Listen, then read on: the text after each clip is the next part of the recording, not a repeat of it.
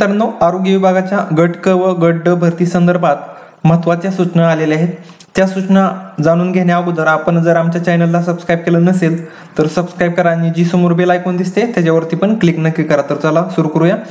आरोग्य विभागातील गट क मधील चौदा नेमणूक अधिकारी यांचे अंतर्गतच्या बावन्न संवर्गाच्या भरतीची प्रक्रिया सुरू आहे. दिनांक चोवीस दहा दोन हजार एकवीस रोजी घेतलेल्या गट क परीक्षेच्या सर्व संवर्गाच्या तात्पुरत्या उत्तरतालिका प्रसिद्ध करण्यात आल्या असून या संदर्भात परीक्षार्थींनी केलेल्या सूचनांची छाननी करण्यात येत आहे.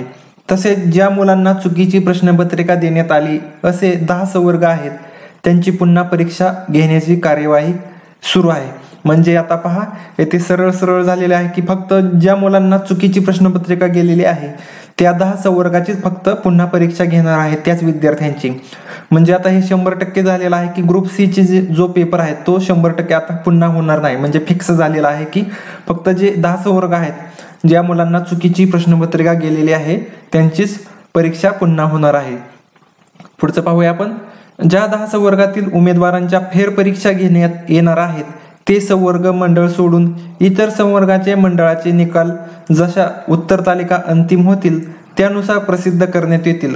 उर्वरित संवर्गाचे मंडळाचे बाबत चुकीच्या प्रश्नपत्रिका मिळालेल्या उमेदवारांची फेरपरीक्षा झाल्यानंतर निकाल प्र प्रसिद्ध करण्यात येतील. राज्यस्तरीय संवर्गाबाबत उदाहरण सहसंचालक कुष्ठरोग अंतर्गत अवैद्यकीय सहाय्यक संवर्ग या पदांचा निकाल फेरपरीक्षा झाल्यानंतरच प्रसिद्ध करण्यात येईल. म्हणजे जो राज्यस्तरीय जो संवर्ग आहे त्याचा जो फेरपरीक्षा झाल्यानंतरच त्याचे जो निकाल आहे प्रसिद्ध करण्यात येईल. मंडळ स्तरावरील संवर्गाच्या बाबत उदाहरण दूरध्वनी चालक हा संवर्ग मंडळस्तरीय असल्यामुळे अशा पदांसाठी ज्या मंडळामध्ये चुकीची प्रश्नपत्रिका देण्यात देण्याची घटना घडली ती मंडळे सोडून इतर मंडळाचे अंतिम निकाल जाहीर करण्यात येतील व समुपदेशन प्रक्रिया सुरू करण्यात येईल. म्हणजे ज्या ठिकाणी चुकीची प्रश्नपत्रिका गेलेली आहे त्याची फेरपरीक्षा होईल परंतु ज्या ठिकाणी व्यवस्थित प्रक्रिया पार पडलेली आहेत व्यवस्थित प्रश्नपत्रिका दिल्या आहेत तेथील निकाल जाहीर करण्यात येतील व विद्यार्थ्यांची निवड सुद्धा केली जाईल असं त्यांनी सांगितलेलं आहे. फेरपरीक्षा घेण्यात या वयाचे नेमणूक अधिकारी नुसार संवर्ग आणि फेरपरीक्षेची तारीख पुढील आठवड्यात जाहीर करण्यात येईल व तसे संबंधित उमेदवारांना कळवण्यात येईल.